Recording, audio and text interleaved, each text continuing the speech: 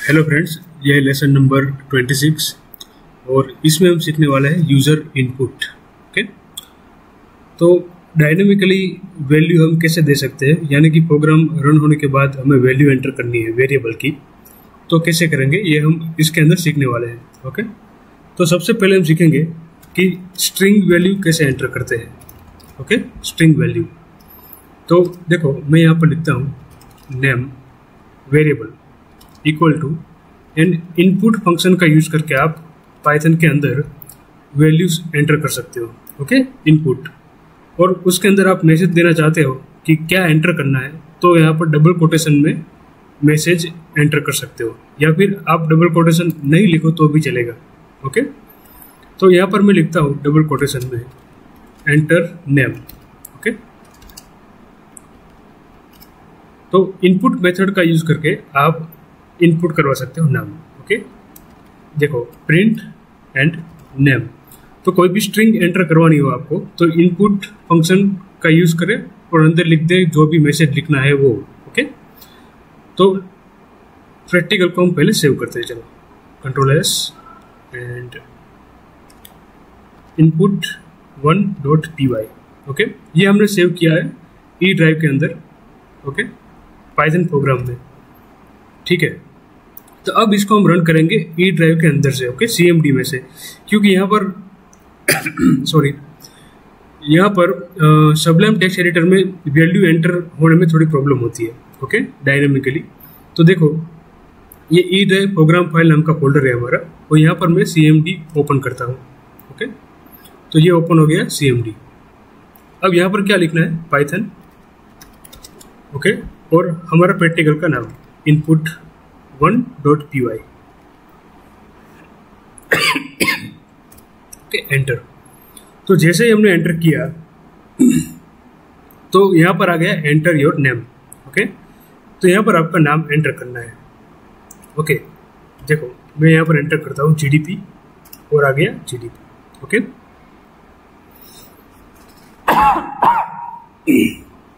Sorry तो इस तरीके से आप डायनामिकली वैल्यू एंटर करवा सकते हो ओके अब देखो। नेम आ गया। फिर मैं यहाँ पर कॉलेज नेम दूसरा वेरिएबल लेता हूँ ओके कॉलेज का नाम आपको एंटर करवाना है। तो इक्वल टू करके input and enter college name okay and colon print college name okay तो इनपुट फ़ंक्शन है ये पाइथन के अंदर और सिंपल यहाँ पर आपको सिर्फ़ इनपुट लिखना है इनटू ब्रैकेट मैसेज लिखना है और जो भी वैल्यू एंटर करेगी वो इस लेफ़्ट हैंड साइड वेरिएबल में कॉपी हो जाएगी। ओके तो ये इनपुट जो फ़ंक्शन है वो स्ट्रिंग वैल्यू एंटर करवाता है। ओके देखो, वापस से हम प्रैक्टिकल रन करते हैं। Enter name okay G D P enter college name मैं वन टू थ्री एंटर करता हूँ. ओके तो देखो, दोनों वैल्यू एंटर हो गई स्ट्रिंग वैल्यू ओके तो ये बात हो गई स्ट्रिंग की. ओके अब ये कमेंट दे दिया मल्टी लाइन कमेंट अब हम एंटर करेंगे integer values okay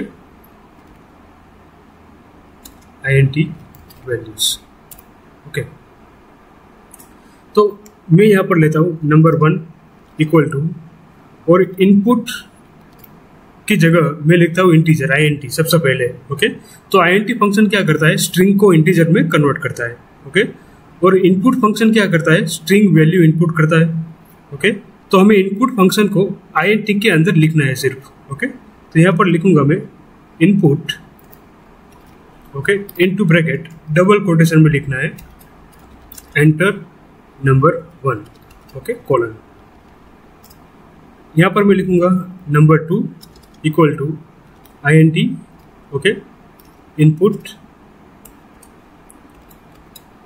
enter number two okay तो देखो ये नंबर वन और नंबर टू एंटर हो गया और ये इंटीजर में कन्वर्ट होकर आएगी वैल्यू अब आप जो भी चाहो उसके साथ ये कर सकते हो एडिशन सब्ट्रैक्शन मल्टीप्लिकेशन तो मैं यहाँ पर एडिशन करता हूँ simple number one plus number two और मैं इसको प्रिंट करवा देता हूँ। Print addition colon and add okay comma करके कॉन्केट के लिए। तो सिंपल आपको ये I N T conversion function है हमारा, जो हमने अगले कुछ लेसन में देखा था टाइप कास्टिंग में। तो आई एन टी और यहाँ पर लिखना है input okay enter number one input enter number two तो input function string value enter करेगा। स्ट्रिंग को इंटीजर में कन्वर्ट करेगा यहाँ पर और इंटीजर वैल्यू अब एंटर होगी ओके तो आगे हमने एंटर किया था स्ट्रिंग वैल्यू और यहाँ पर एंटर करेंगे हम इंटीजर वैल्यू दोनों का एडिशन हुआ और डिस्प्ले हो गया यहाँ पर। देखो, इसको रन करके देखते हैं। एंटर नंबर वन तो मैं फाइव एंटर करता हूँ। यहाँ पर सिक्स एंटर करता हूँ मैं। तो एडिशन इलेवन ओके तो इस तरीके से डायनामिकली आप वैल्यू प्रोवाइड कर सकते हो प्रैक्टिकल के अंदर पाइथन के अंदर ओके और यदि आपको फ्लोट लेना है तो सिर्फ़ यहाँ पर फ्लोट लिखना है ओके जो भी वैल्यू एंटर करेंगे, वहाँ पे आपको फ्लोट लिखना है। चलो एक एग्जांपल ले लेते हैं फ्लोट का भी ओके इसको हम पहले कमेंट देते हैं multi line comment okay hash and float value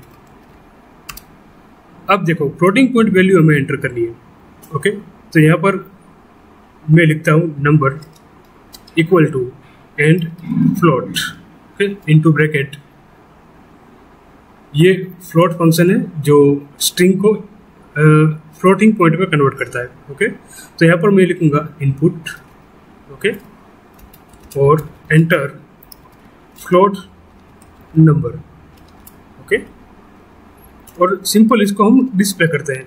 आप दो नंबर एंटर करवा के ऑपरेशन भी परफॉर्म कर सकते हो, जो हमने एडिशन किया था उस तरह। तो float function string to integer convert करता है और नंबर वेरिएबल में आ जाएगा नंबर, जो भी आप एंटर करोगे वो। ओके? देखो मैं इसको रन करता हूँ। एंटर फ्लोट नंबर तो मैं 3.4 एंटर करता हूँ और ये आ गया 3.4 तो इस तरीके से आप इंटीजर वैल्यू एंटर करवा सकते हो using INT function string value enter करने के लिए सिंपल आपको इनपुट लिखना है enter name enter college name जो भी स्ट्रिंग वैल्यू हो। और फ्लोटिंग के लिए आपको सिर्फ़ यहाँ पर फ्लोट लिखना है okay into bracket input enter float number okay तो आपको समझ में आ गया होगा कि ये जो डबल कोटेशन में लिखते हैं हम, वो सिर्फ़ मैसेज है ओके और ये मैसेज कंपलसरी लिखना ज़रूरी नहीं है वो ओके तो नहीं लिखोगे तो भी चलेगा ओके तो इस लेसन में सीखा कि इनपुट वैल्यू हम कैसे देते हैं ओके और अगले लेसन में सीखेंगे कि लिस्ट के लिए वैल्यू कैसे एंटर करें डायनामिकली ओके तो इस लेसन में सीखा कि integer float and string value कैसे एंटर करते हैं ओके अगले लेसन में लिस्ट देखेंगे कि लिस्ट को डायनेमिकली कैसे एंटर करवाते हैं। इस लेसन में इतना ही। Thank you